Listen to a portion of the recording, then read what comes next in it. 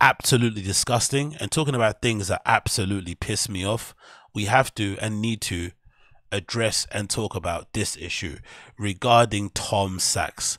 Unfortunately, the great and the illustrious Tom Sachs got himself in a bit of a oopsie doopsie.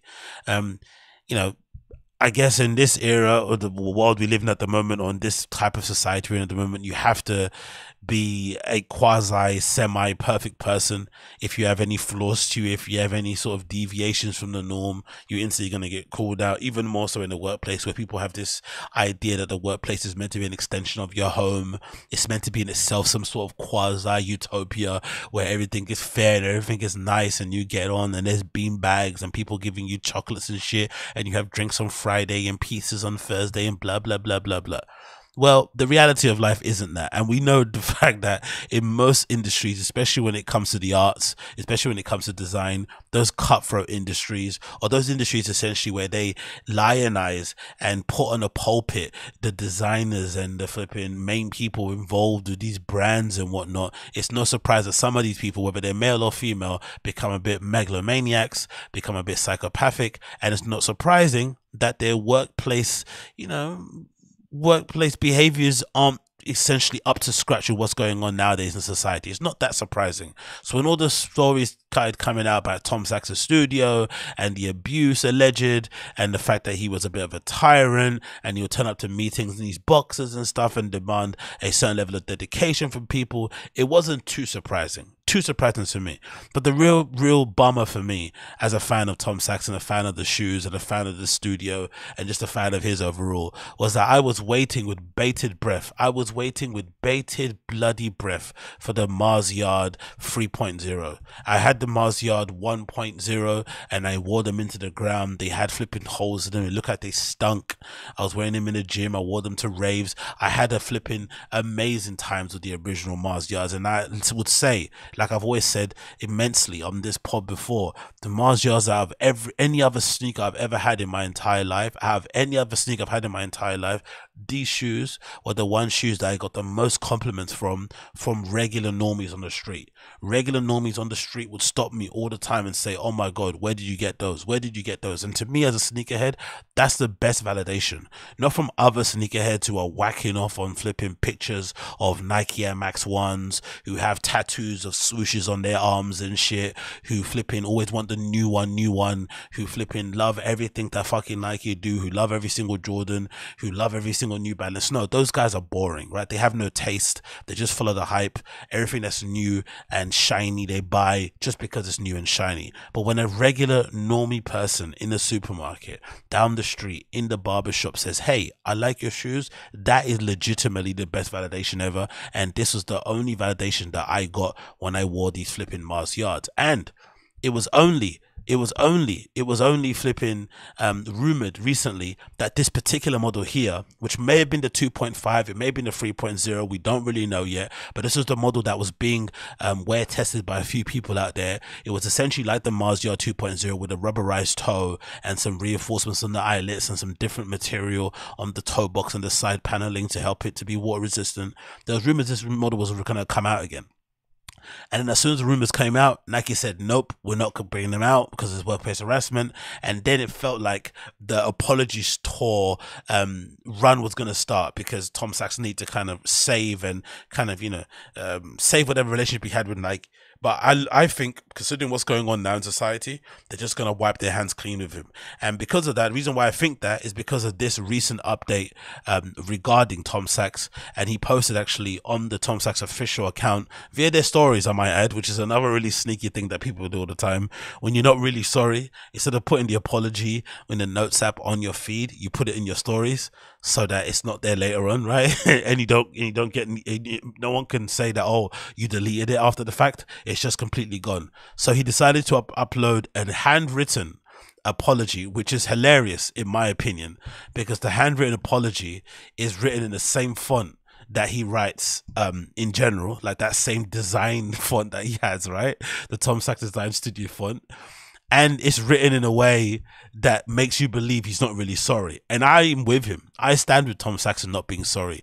I stand with Tom Sachs on the um, having permission to throw a couple of pans and pots at your flipping design students or design assistants if they're not kerning properly, if they haven't lined up the rulers accurately enough. I am really for it. If the chamfer on the fucking, sorry, if the chamfer on the fucking, you know, prototype of what you've been working on isn't done to the correct angle, I stand with him. I stand with his ability to do so because these days in these design studios, some of these design assistants don't be design assistanting. They be wasting too much time on Instagram feed, on Discovery, doing fucking research instead of actually drafting up prototypes, going to buy more, buy, going to buy more MDF, right, and actually get into fucking work. That's what they should be doing. So I don't see any point in it. But if you're looking at it from a point of view of like, oh, he needs to apologize and own up to his mistake, let's make one thing for certain. When you go and you upload a flipping handwritten apology in the font that you usually do all your designs in and you post on Instagram stories, you are definitely not sorry. Let's just say that. Anyway, let's read the, up, the, the apology, courtesy of Tom Sachs. It says, update. These past few months have been at a time of overdue reflection. A time of overdue reflection. It's been painful but vital. You know what this kind of reminds me of? This motherfucker writes at Ian Connor. Do you know Ian Connor, right? The stylist guy. He's got this way of writing. I don't know if he's like dyslexic. I don't know if he's just redacted, but he writes so bizarre. Like the grammar's all over the place. It's all uppercases and shit. It's just strange. I don't know if it's like a it's like him talking in slang or if it's him just not giving a fuck about the English language is like kind of cool. But he kind of sounds like Ian Connor. Like you don't really know where shit's going, but you're going to try and kind of pass it together, right? Let's just continue anyway. Man writes like how Philippine Floyd Mayweather spells, right? Anyway, let's continue. It says, I deeply regret that anyone um, ever felt less than supported, safe, and fulfilled within my studio. But it's clear that some people did. so some of you motherfuckers felt sad and felt unsupported because you're sad and unsupported, but some of you didn't. So leave me alone. I get it. As our business grew at a rapid pace, and cultural norms progressed, we did not take the necessary time or professionalize our operations. I wish I had prioritized this decade ago. I am laser focused on it now. So essentially, he's saying it's your fault. It's society's fault for changing, not for me being a tyrant. I am not fucking Kim Jong Un in this design studio. It's your fault for you guys being too redacted and too lily livered and too p worded not to be able to kind of withstand my pressures that I put on these design people. It's actually society's fault. That's what he's basically saying. He's not saying it's anything that he done wrong. It's society's fault. Society needs to kind of fix up, suck it up, and be okay with him and his wife sending their flipping design students off to Erewhon to buy a particular fucking green smoothie for their fucking dog. That's what he's basically saying. It continues. But to be clear, over my 30 year career, this is essentially the the career version of like I have black friends, right? But to be clear, over my 30 year career, I have never harassed anyone or tried to make anyone feel uncomfortable. I love that, right? That refusal to take any accountability. You may say I made you feel uncomfortable, but it's all in your head. I did nothing wrong. You may say I harassed you. No, I did not harass you. You harassed yourself by by complaining. Basically, you played yourself. That's what he's saying. I'm committed to building a studio culture that better aligns with the values that I explore and develop as an artist. My art and professional, my art, and, my art and personal slash professional growth is my main focus. Signed 5th of the 10th, 2023, Tom Sachs, NYC. You know what's absolutely funny about this whole entire thing? What did they expect him to do though? I'm just thinking about it now. Why did he even write this apology? I would have told people to fuck the. F- I would have told everyone to fuck off. You want me to? You want me to fire myself from my own studio? Is that what you want me to do? You want me to fire myself from my own studio? I'm never going to do that. I don't care what you think about my workplace um, practices, about my working conditions. I am never firing myself from my own studio. Never happening. Especially when you think about um, you know, the fact that those shoes, I think, in my opinion, belong in the sneaker hall of fame, right? Those original NikeCraft Mars yards are belonging in the sneaker in the sneaker hall of fame. If you're a smart, if you're a smart sportswear brand um, CEO, you're going to be looking at Tom Sachs with the with the corner of your eye. You're going to be watching his movements, and you're going to say to yourself, you know what? If Balenciaga can bounce back from essentially having kiddie porn in their flipping campaigns, right?